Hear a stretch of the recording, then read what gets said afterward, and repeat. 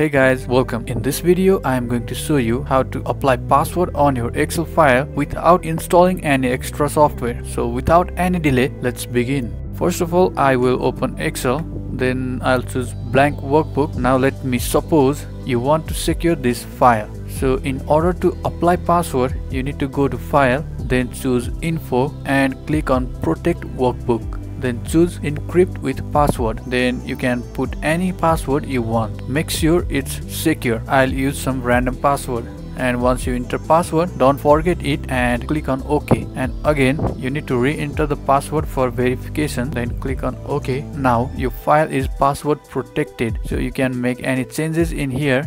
So let's save this file. Save as close this now this is the file which I have currently applied password into so I'll open it and you can see a pop-up for password enter the password and press enter and this is how you can apply password to your file without using any other extra software. I hope you liked the video and don't forget to press the subscribe button for more videos like this. Thank you and I will see you in the next video.